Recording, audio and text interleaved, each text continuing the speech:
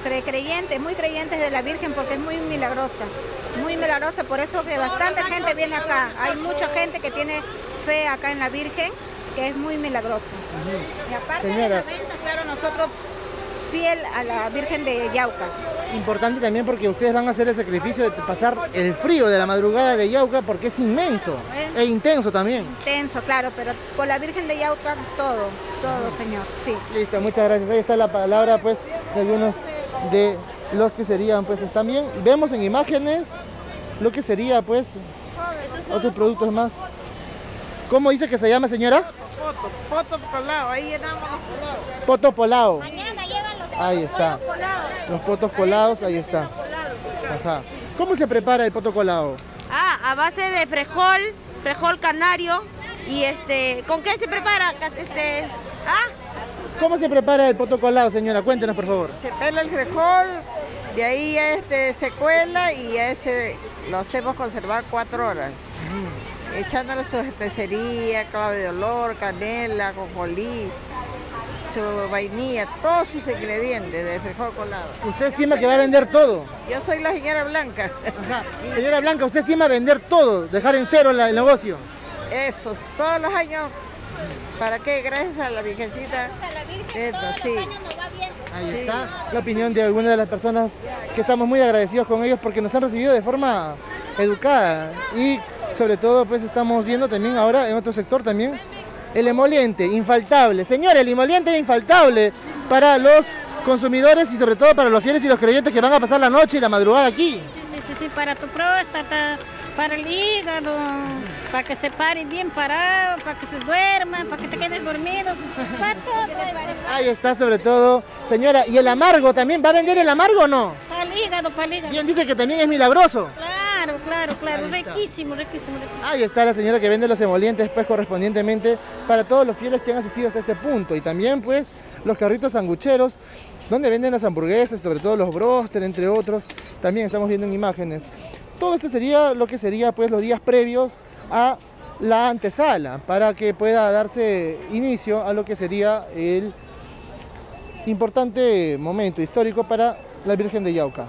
Pero ¿cómo evitar no poder tener que saborear unos ricos chicharrones y sobre todo la comida criolla en nuestro sector? Señores, muy rico la comida, ¿verdad?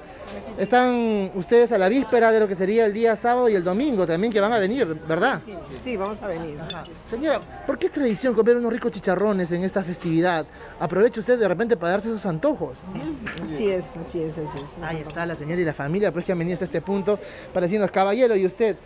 ¿Qué tan importante es haber venido hasta este punto tan lejano de la ciudad de Ica de repente, que está un poco alejado, ¿verdad? Y venir hasta aquí, usted es importante. Siempre a ver, a ver a la Virgen, a la Virgen de Yauca, a ver, siempre digo, bueno, bueno, con la familia, con mi mamá, con mi abuela. ah. Ahí está. Muy provecho porque está saboreando unos ricos chicharrones. Vamos a conversar aquí con la cocinera también que está presente en todo momento. Señora, muy buenas tardes. Para Exitosa, la importancia de estar acompañando esta festividad tan milagrosa para muchos fieles como es la Virgen de Yauca. ¿Usted cómo se siente? Ay, Yo me siento contenta a la vez porque vienen bastantes peregrinos después de dos años sobre la pandemia y me siento contenta también y un poco triste porque mi esposo ya no me acompaña. Anteriormente la acompañaba aquí. Acompañaba, era mi esposo.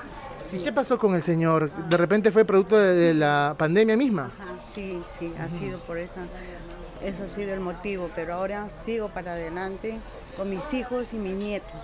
De repente sus nietos y sus hijos son su fortaleza hoy en día, ya que el esposo no la puede acompañar. Es el legado que ha dejado él. Eso es lo que nos ha enseñado y he enseñado a mis hijos y a mis nietos. Bueno, y a mí también me da bastante fuerzas para seguir adelante. Y ojalá Dios quiera y la Virgen que nos siga dando salud a todos sus peregrinos que vienen a verle, que no se han olvidado de ella. ¿Cuál es el platillo que más se vende aquí? ¿De repente el chicharrón? Los chicharrones, la sopa seca, la carapulcra, el arroz con pato. Y bueno, así preparo un poco, un poco de cada comida. Ahí está. Como vemos en imágenes, la señora tiene sus hoyones prácticamente aquí repletos de la, lo que sería el manchapecho o la sopa seca con carapulcra, como vemos ahí en imágenes. Y la señora ya está prácticamente habilitando pues la atención a todos los clientes que vienen hasta aquí para que puedan pues alimentarse correspondientemente. Bien, vamos a seguir informando un poco más de lo que sería pues este acontecimiento tan importante para muchos fieles. Aquí, como vemos en imágenes, señora, ¿qué tal? Muy alegre y contenta para el recibimiento de esta festividad tan importante para muchos iqueños y quienes nos visitan sobre todo. Ah, sí, muy importante, y hago hacer el rosario, todo, y a, a tomar el ponche, el tradicional. Muy, después de tantos años la pandemia, recién este año abierto y hay gente bastante, bastante, que la Virgencita los trae. Señora, usted es devota y sobre todo fiel creyente de la Virgen de Yauca porque de repente en algún momento le ha cumplido un milagrito a la familia, es simbólico de repente o una tradición familiar. Sí, una tradición familiar y siempre lo que uno le pide la Virgencita te concede. Sí. Ahí está la palabra, señora. Señora, y usted también forma parte de la familia y sobre todo... Sí, somos hermanas. Sí, yo vengo de muchos años, este, desde Cuando el- era jovencita. cuando era joven del barrido, todos los años yo venía.